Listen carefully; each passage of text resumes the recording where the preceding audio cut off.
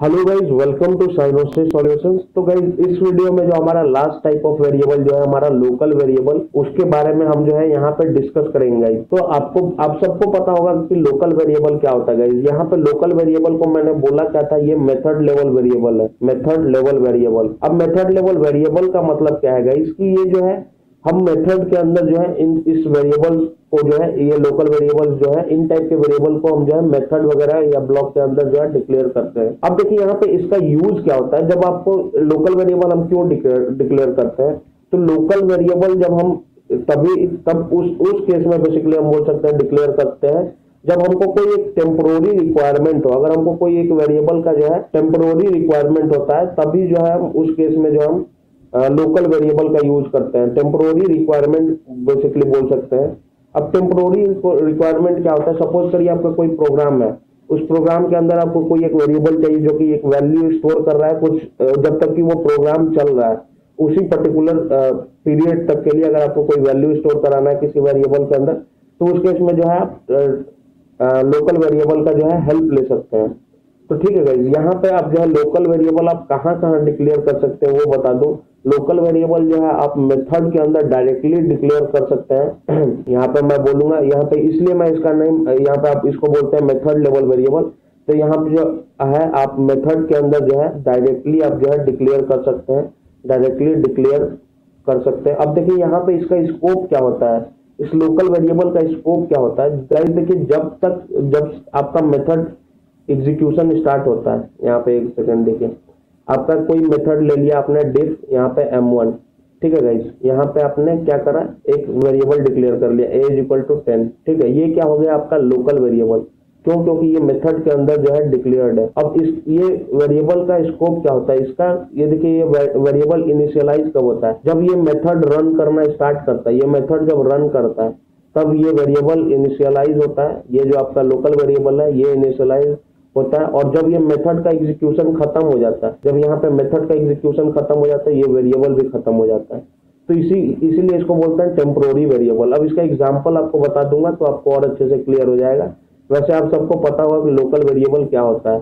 तो गाइज़ यहाँ पे चलिए नेक्स्ट यहाँ पे मैं एग्ज़ाम्पल से ही आपको दिखा देता हूँ कि देखिए लोकल वेरिएबल क्या है? अगर आपने मेथड के अंदर कोई वेरिएबल डिक्लेयर करा है लोकल वेरिएबल अगर आपने डिक्लेयर करा है किसी मेथड के अंदर तो उसको जो है आप आउटसाइड द मेथड आप जो है नहीं एक्सेस कर सकते, ठीक है? अगर आपने लोकल वेरिएबल को मेथड के अंदर करा है इनसाइड द मेथड अगर आपने करा है तो यहाँ पे आप क्या कर सकते हैं? आउटसाइड द मेथड आप जो है एक्सेस नहीं कर सकते। तो यहाँ पे क्या लिख देता हूँ? Can't access outside the method ठीक है इसका एग्ज़ाम्पल एग्ज़ाम्पल भी करा दूँगा।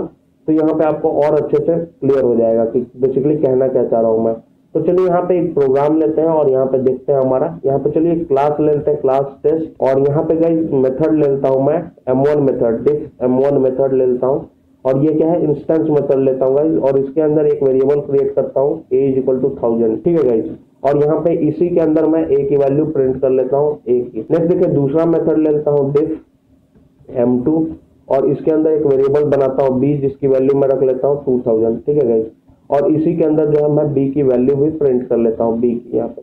ये क्या है? ये दोनों हमारे मेथड है। अब इनको रन कॉल कर रन करने के लिए बेसिकली आपको क्या करना पड़ेगा? ऑब्जेक्ट रेफरेंस वेरिएबल यहाँ पे टी लीजिए। बेसिकली ऑब्जेक्ट क्रिएट कर लीजिए आप यहाँ पे। और यहाँ पे ऑब्जेक्ट क्रिएट करके आप जो है मेथड कॉल कर लीजिए। T dot m one call करिए। और वैसे ही आप जो है t dot m two call कर लीजिए।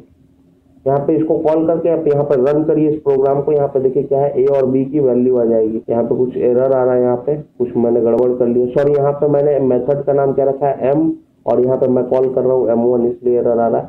चलिए इसको रन करते हैं। कंट्रोल शिफ्ट एफ़ करते हैं गाइज़ और यहाँ पे आप देख सकते हैं ए और बी की वैल्यू जो है प्रिंट हो गई है। थाउज़ेंड एंड टू थाउज़ेंड अब सपोज़ करिए गाइज़ यहाँ पे इस मेथड के अंदर मैंने ये वेरिएबल ए प्रिंट करा है। बेसिकली डिक्लेयर करा है यहाँ पे। ये हमारा क्या है लोकल वेरिएबल अब मैं इसको जो है, इस वेरिएबल ए को मैं एक्सेस करने की कोशिश कर रहा हूँ हमारे मेथड एम टू के अंदर। तो यहाँ पे अगर मैं प्रिंट करता हूँ गाइस ए को मेथड m2 के अंदर तो देखिए क्या होता है। वापस से रन करता हूँ इसको।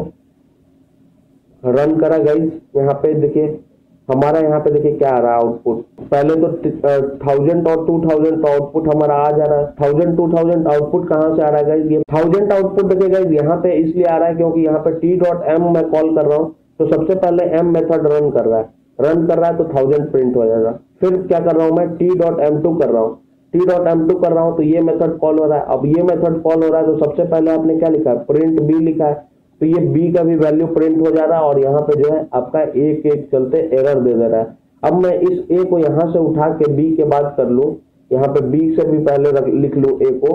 अब वापस रन करता हूँ तो देखिए यहाँ पे क्या होगा, इसी केस में एरर आ जाएगा। अब आपका बी नहीं एग्जीक्यूट हो जाएगा, हो पाएगा। तो जहाँ पे एरर आता है, उसके नीचे वाले स्टेटमेंट्स जो है गाइज़ वो एग्जीक्यूट नहीं होते। ये सब एक्सेप्शन हैंडलिंग के अंदर आपको बताऊँगा।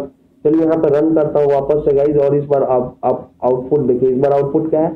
सिर्फ़ वन थाउज़ेंड इस बार टू थाउज़ेंड आउटपुट क्यों नहीं आया? क्योंकि इस बार मैंने बी को जो है एरर वाले स्टेटमेंट के बाद रखा है। तो जहाँ एरर डिटेक्ट हो जाता है, आपका जो है प्रोग्राम से कंट्रोल वहीं से बाहर आ जाता है। तो यहाँ पे आप देख सकते हैं, काफ़ी सिंपल है और ये एरर वगैरह के बारे में जो है मैं एक्सेप्शन हैंडलिंग में कवर करूँगा गाइज़ तो ये था आपका लोकल वेरिएबल काफ़ी इजी यहाँ तक हमने जो है तीन वेरिएबल कवर कर लिया है।